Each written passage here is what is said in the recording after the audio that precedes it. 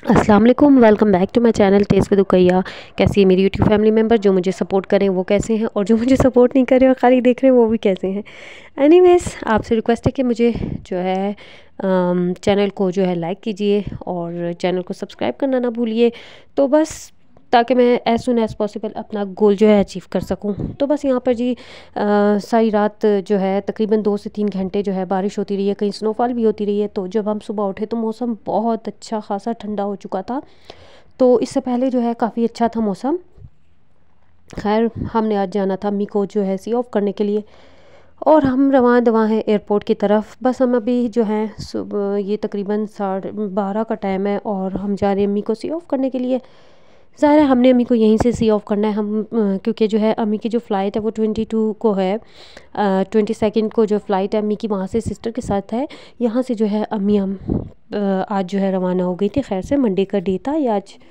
तो बस फिर अम्मी को हमने जो है सी ऑफ़ करना है और अम्मी का जो बैग था, वो का अच्छा खासा जो है, भारी था। तो ज़ाहिर अम्मी तो ये नहीं लगेज अपने साथ वो कर सकती थी।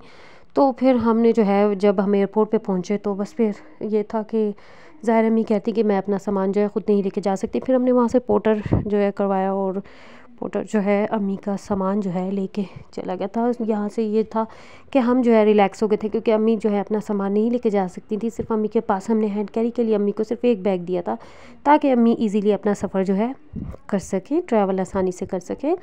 खैर, बच्चे आगे थे और जो है ठंड बहुत ज़्यादा थी। बच्चे जो है बहुत ज़्यादा हाथ, उनके बहुत ठंडे हो रहे थे क्योंकि इतना अंदाज़ा नहीं था कि ठंडा होगा, लेकिन जो है सिस्टर को नहीं पता था। खैर, ये देखिए जी, अम्मी जा चुकी हैं खैर से और बस फिर हम लोगों ने सिर्फ़ अम्मी के अंदर जाने का इंतज़ार किया और बस फिर हम यहाँ से चले गए थे वापस, ज़ाहिर है। तो बस फिर टाइम हो गया था जी और यहाँ से जो है मैंने ड्राइव खुद की थी। तो बस फिर घर पहुँचते पहुँचते जो है खाने का टाइम हो गया था और जो भी लेफ़्ट ओवर कल दोपहर का था, हमने कल दोपहर का और रात का वही खाया था क्योंकि इतना टाइम नहीं था मेरे पास कि मैं पकाती। तो बस फिर फ़ौरन से घर आ गई हूँ। घर आते साथ मैंने रोटी बना ली थी क्योंकि ज़ाहिर हस्बैंड का खाने का टाइम हो रहा था मेडिसिन का टाइम हो रहा था तो बस फिर उसके बाद हमने भी खाना खा लिया। तो फ़ौरन से मैंने सबसे पहले नमाज़ पढ़ी और नमाज़ पढ़ने के बाद जी मैंने पढ़ना था कुरान पाक और जल्दी से मैंने कुरान पाक पढ़ा। कुरान पाक पढ़ लिया था क्योंकि जी कुरान पाक पढ़ने के बाद जी मैंने जो सुबह का काम सारा मैं छोड़ के गई थी, मुझे वो सारा काम करना था और जी मैंने कुरान पाक पढ़ लिया था। उसके बाद पहले मैंने कुरान पाक पढ़ा, वज़ाइफ़ किए और फिर जो है मैंने वज़ाइफ़ करने के बाद सारा काम किया। उसके साथ ही मैंने खाना रात के लिए बनने के लिए रख दिया था। और आज मेरा इतना दिल करता है कि मैं चने की भुनी हुई दाल बनाऊँ। तो बस सिंपल मैंने एक अनियन ले लिया, जिसे मैंने लाइट गोल्डन ब्राउन किया और उसके साथ ही एक चम्मच ज़ीरा डाल दिया। कुछ टोमेटोज़ तीन चार ले लिए थे, उसकी पेस्ट बना दी थी और वो चिली फ्लेक्स डाले, टर्मरिक पाउडर डाला, सॉल्ट ऐड किया और जो है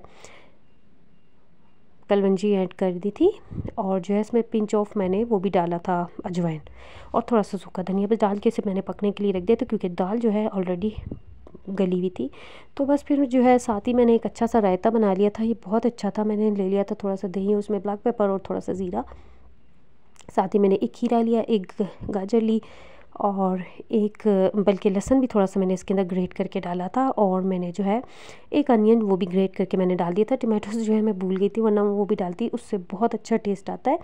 फिर उसके बाद रह गया था मिंट फ्रेश मिंट जो है मैंने उसे कट करके डाला था। तो आप इसे ट्राई करना, ये बहुत अच्छा बनता है। आगे रमज़ान आ रहे हैं तो जी, रायता वगैरह बहुत अच्छा लगता है राइस वगैरह के साथ। तो बस देखिए जी, रायता भी रेडी हो गया और उसके बाद जी, खाना भी रेडी हो गया था। तो बस ये दाल जो है, बहुत अच्छी बनी थी। थैंक गॉड मेरा बेटा वैसे दाल वगैरह कम ही खाता है।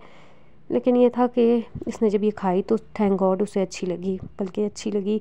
हस्बैंड ने तो खानी नहीं थी तो मैंने अपने हस्बैंड से कहा, आपको मना है, हम तो खा सकते हैं। तो फिर इसलिए मैंने आज अपने लिए बना ली थी। काफ़ी टाइम के बाद मैंने ये चने की ऐसे भुनी हुई दाल बनाई थी। बहुत टेस्टी बनी थी।